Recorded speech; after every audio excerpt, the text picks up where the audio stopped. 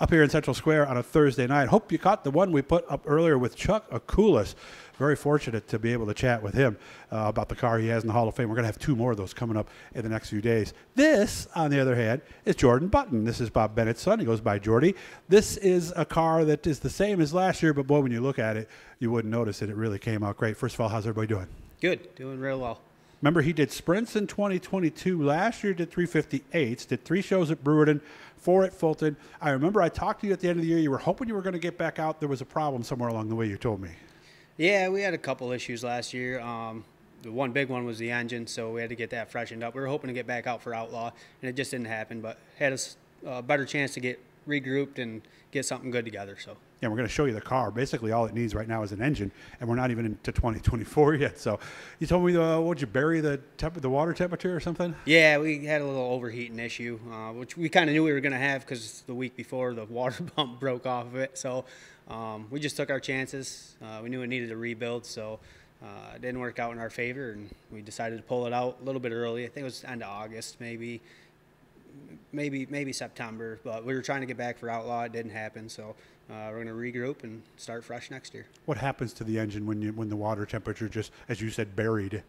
Uh, well, the head gaskets first off, but we warped the heads a little bit, so we had to We have did? those. Yeah, um, we actually did kind of a quick job on it to get back out, and we raced it one more time after that, but it wasn't quite the same, and we knew it was lapped out, so we just pulled it out, and it's actually over to Mike Mosers right now, and he's doing a pretty good piece for us this year, so we'll be fresh and ready to go. When you warp the heads, do you have to mill them? Yeah. Okay, Yeah. a little bit or a lot, and does that affect compression? Um, it depends on how bad they are. Um, I've heard you know a couple thousandths, but Mm-hmm. mine and the bad case were like 15 or 20 probably somewhere's in there.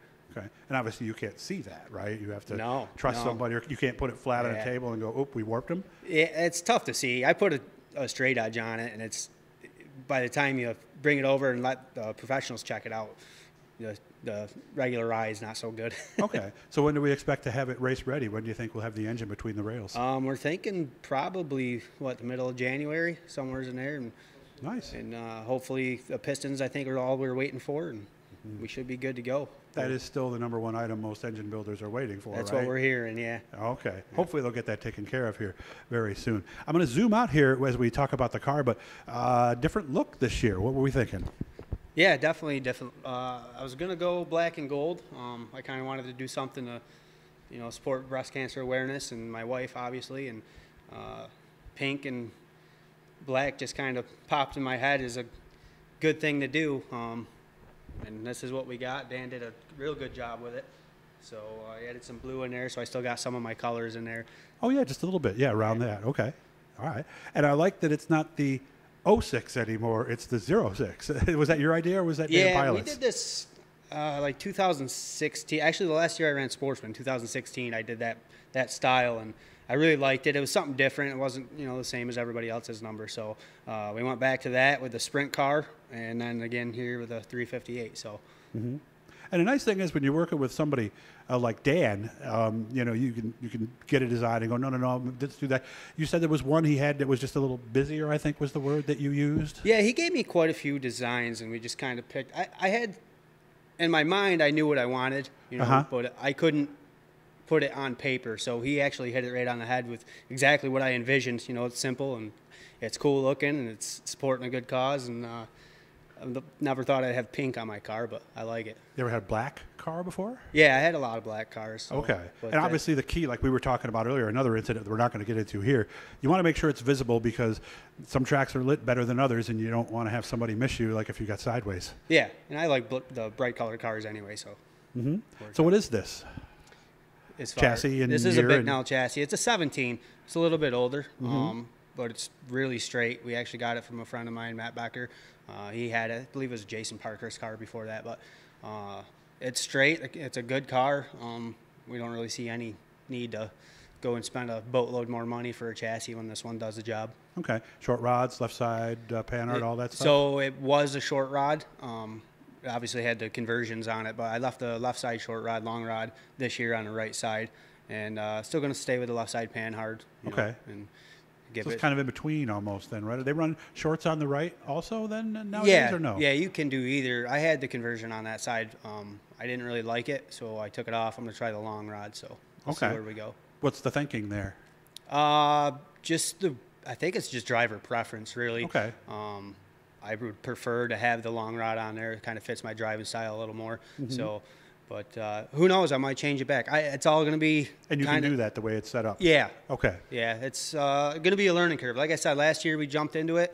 We were hoping to get some laps and learn, but we unfortunately spent a enough, lot of time working on it, which uh, we didn't really expect, but uh, it is what it is, and we'll, we're just going to try to capitalize from there and hopefully have a good season. So you never had that one night where everything was running well enough where you were able to learn Um, our not first really? night out actually was the best night we had. And, not uh, good. but we didn't. But we didn't have any breaks. So, Oh. uh, but it was the night we passed most cars, and we got in, and it, it was uh, kind of downhill from there. But Mm-hmm. that's racing. I, uh, what do you expect when you just jump into Okay. it and go? So, Three at Brewerton and four at Fulton. Are we thinking kind of both tracks, or might we concentrate on one? no, just Fulton this year. We're Okay. gonna just run the small block there and um, hit as many in between shows as we can. That's Mm-hmm. the plan so far. So. And I would imagine since you don't have a lot of experience, maybe a couple at Brewerton, maybe the Brewerton practice, just to get yourself. Yeah, we'll go hit as many of the testing tunes as we can. Um, maybe an occasional race at, at Brewerton. I really like Brewerton. I just, Mm-hmm.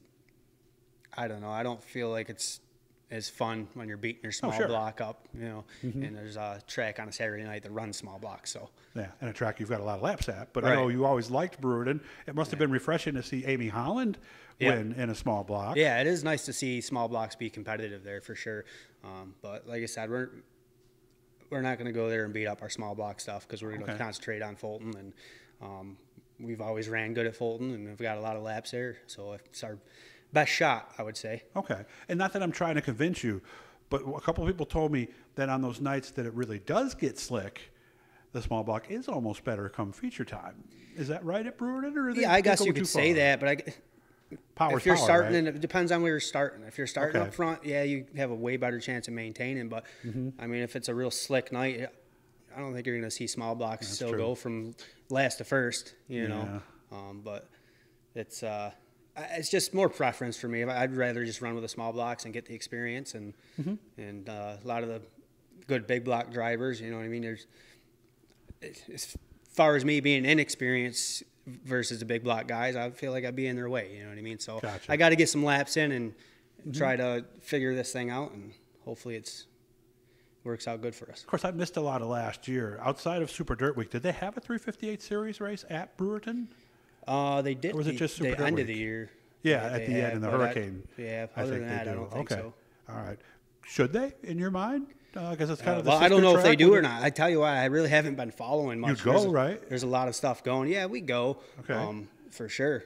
But uh, I, I don't know. I'd have to look at the schedule and see what we got. Like I said, as far as small block stuff, we're going to try to hit as many as we can. So. So Weedsport would be in the picture. oh yeah, then? we're going to try Weedsport. Super Dirt Week. So, eh, we'll see how. We got to get through the fall season first. Well, and you got to work too. That's the other thing I don't think that people realize realistically is that's quite a time commitment when you get down to it. So- Oh yeah, for sure. And it's not just you know those four days. You got to be there. You got to be ready. You got to get Mm-hmm. Right. your camper set up. Even when them guys leave Super Dirt Week, they're still probably a couple days cleaning their stuff out. You know. That's Um, true. So yeah, if I was going to have commitment and go there, then I would definitely do it. But it would Mm-hmm. Okay. be late in the season before we had a decision. By the way, I want to say thanks to Rudy Plumbing. Uh, if you guys are in the central New York, Central Square area, even too, uh, Baldwinsville, Liverpool, even in Oswego County, whether it's something as simple as a clogged sink, a new install, or you're sitting there going, oh, it's three in the morning, my basement's flooding, they are the guys to call, so make sure to look them up. Appreciate you making time for me, and uh, I can't wait to see this thing on the track. You guys saw it. It's a great looking car, so racing season can't get here soon enough, can it? No, we've been sitting here waiting. I don't think I can put any more wax on it. So Good to see you, man. yeah, thank you. Take Remember, care. subscribe, leave a comment if you'd like. Make sure to turn on the notifications, all that good stuff. We'll be back tomorrow with more, uh, as we do have something cooked up in the afternoon for you. Hopefully that'll work out. We'll have that up tomorrow night. Thanks again, man. Yep. Thanks.